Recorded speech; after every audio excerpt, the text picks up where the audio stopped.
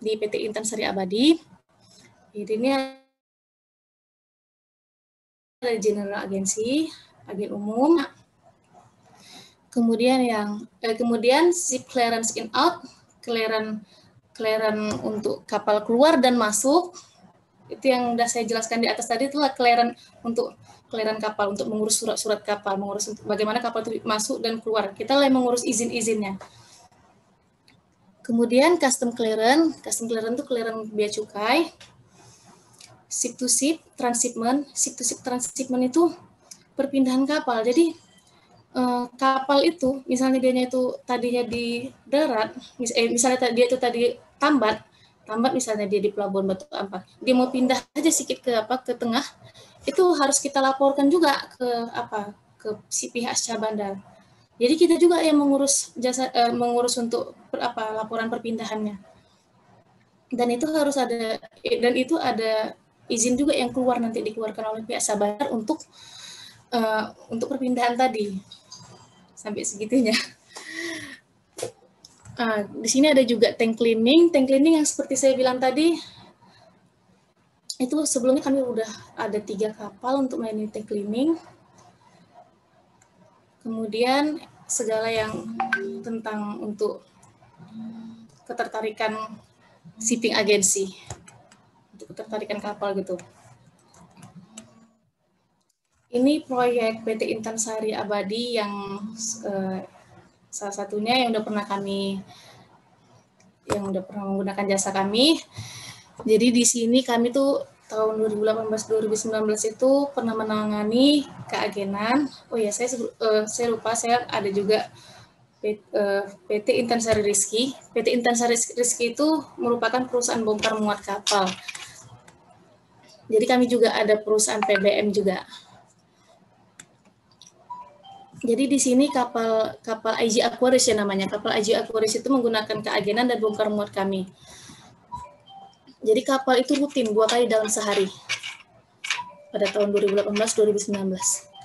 Kemudian ada kegiatan tank cleaning yang saya jelaskan tadi.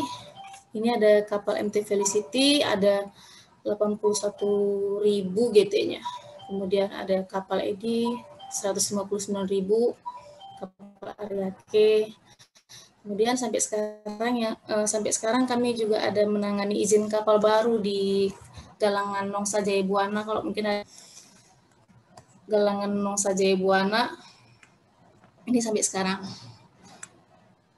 thank you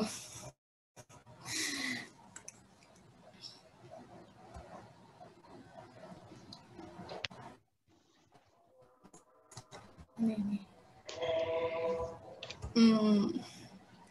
Ingin tanya jawab? Ya, kita buka tanya jawab. Ada yang mau langsung nanya nih? Ya, Bu, saya Ya, silakan. Uh, perkenalkan, Mbak Yura, saya Erika. Dari kelas malam A Iya. Uh, pertama ini saya mau menyampaikan kebetulan saya kerja di bagian administrasi juga handle dokumen FTZ itu. Nah di tempat kerja saya itu kemarin ada masalah uh, ketidaksesuaian nomor BL dari ekspedisi dan manifest dari pihak pelayaran. Nah, itu bisa terjadi karena miskomunikasi gitu Mbak. Hmm. Sementara hmm. untuk laporan input itu kan harus sesuai supaya bisa di SPBB kan. Uh, supaya kontainernya bisa proses doring. Namun di sini uh, sudah komunikasi tuh dua, kedua belah pihak ekspedisi dan pelayarannya itu. Uh, pihak pelayarannya memberikan uh, solusi bahwa itu dilakukan uh, readdress aja Nah, readdress ini kan Bukan apa, Mbak? Memerluk memberikan solusi re, uh, readdress itu, Kak. Mm -hmm. Nah, dan itu memerlukan biaya yang cukup mahal kan kalau readdress dari uh, pihak ekspedisinya itu.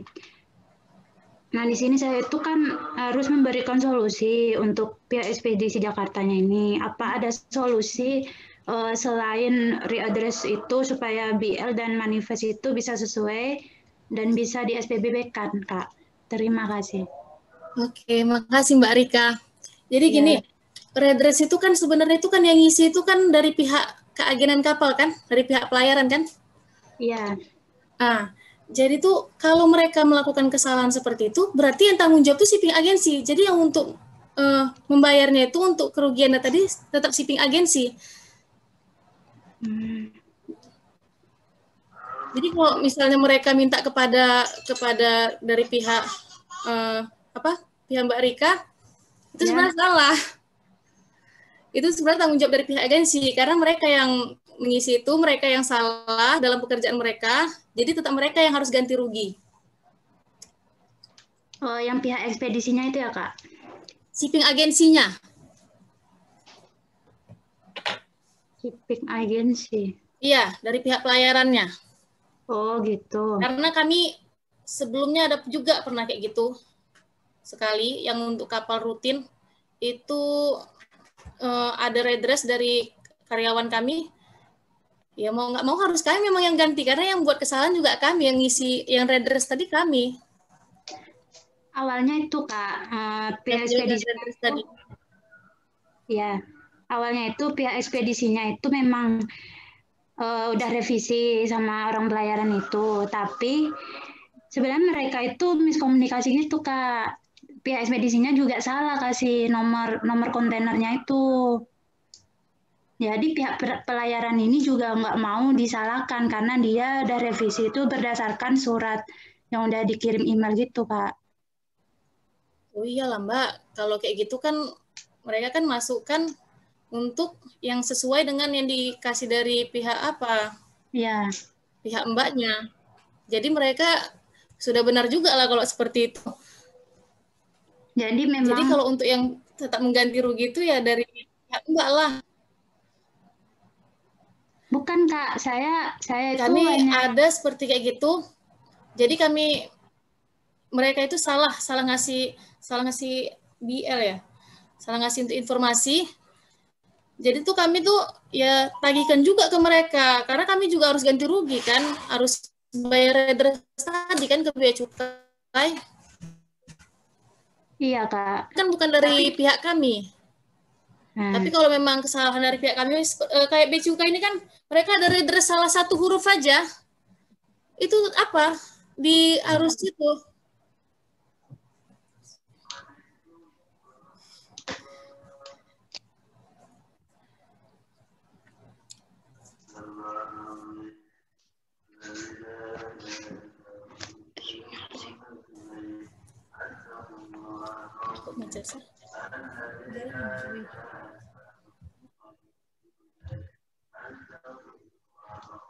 Halo Erika.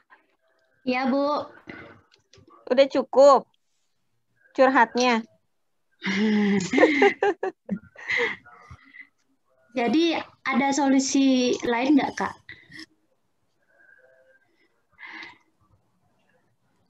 Atau memang Kalau harus pengalaman memang saya sih seperti itu, Mbak. Hmm. Iya, memang harus redress, Mbak. Dari pihak cukai itu mereka nggak mau apa, harus tetap redress sama mereka itu. Mau berapapun, ya kesalahan satu huruf aja, itu kan dari sistem, Mbak. Kesalahan satu huruf aja itu sudah fatal sama mereka.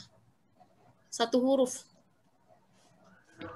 Iya, eh, kemarin itu juga udah komunikasi juga sih sama bea cukai, minta solusi. Tapi emang uh, disuruh bilang sama pelayarannya, tapi pihak pelayarannya juga bilangnya readdress karena memang beda angka kak. Memang itu dia dia itu salah nomor kontainernya. Nggak sesuai. Sebenarnya kalau di BL itu uh, sama tapi manifestnya itu yang berbeda. Jadi kan emang nggak bisa kan itu di SPBB kan jika emang berbeda gitu.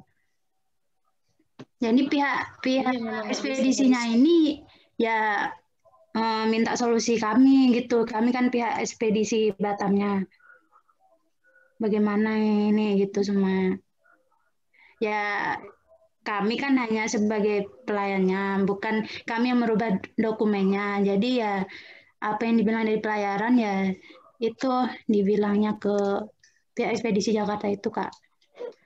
Kak terima kasih ya kak. Intinya sih menelusuri di mana letak kesalahannya gitu ya. Baru bisa iya. diketahui siapa yang harusnya ganti rugi gitu ya. Karena itu kan ada tadi kan ada miskomunikasi, ada kesalahan dari pihak Mbak Erikanya juga kan yang miskomunikasi lah mereka salah ngasih informasi untuk apa ya tadi BL tadi Bu. Mm -mm. Yang ini kak, sebenarnya yang kalau untuk manifest ini kan tadi kan boleh ada kesalahan Bu karena dianya itu kan informasi informasi barang Mbak Erika. Informasi barang. Jadi kalau misalnya ada salah-salah mengenai informasi barang tersebut itu kan fatal. Iya benar kak memang. Masalahnya yang dua ini, yang ekspedisi sama pelayaran itu yang miskomunikasi. Kalau kami kan e, menerima dokumen dari dua pihak itu, tapi tidak sesuai gitu. Kami kan saya itu tugasnya e, bantu ikut ini kak e, buat SPBB kan ke itu orang pajak itu. Ikan emang nggak bisa di SPBB kan kalau emang nggak sesuai nggak bisa proses doring juga gitu kan. Yang dua orang yang dua pihak ini sebenarnya sama-sama salah sih kalau menurut saya lihat. Tapi kan kita tidak melihat dari siapa yang salah mencari solusi gitu kan kak. Jadi permasalahan ini buat pembelajaran gitu. Betul. Biar, berapa biayanya redress itu? Lumayan besar bu kalau redress itu bu.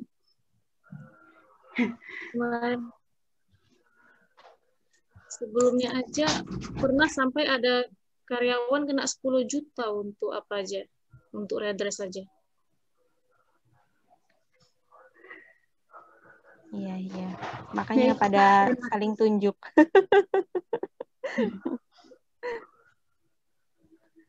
Oke, okay, ada lagi. Iya, ada yang mau nanya lagi?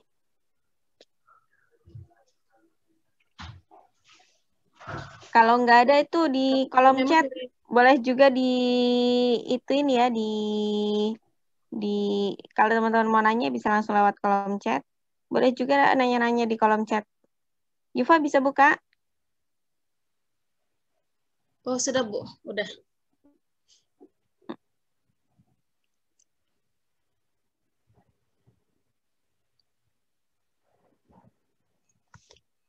Berarti di sini ada anak malam juga ya?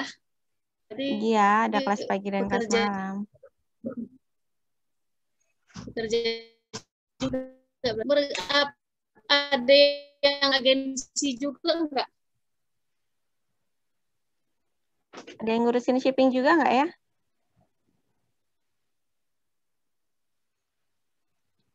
Mana tahu kan ada yang udah lebih berpengalaman lagi daripada saya. ngurusin ekspor impor. Ini saya lagi mau ngurus izin-izin untuk ekspor impor sih bu. Mm -mm. tapi masih belajar juga. Tadi mbak Erika tadi dari pihak ekspedisi ya? Itu ada kita bahas pertanyaan-pertanyaan di chat Yufa Nggak ada keluar, Bu. Nggak ada? Iya, saya kosong aja. aja ya. Uh, kenapa hmm. pengiriman di dunia banyaknya pakai kapal bukan transportasi lain? Karena setahu saya biaya kapal lebih murah sih, Bu. Biaya untuk pengiriman menggunakan kapal. Berapa persen bedanya? Nah, itu yang saya belum ke lapangan kali untuk apanya, untuk biayanya tadi. Tapi, Tapi ada dari... ada harga, ada kecepatan ya. Iya, kalau untuk macam pesawat kan satu hari aja udah bisa sampai kan. Mm -mm.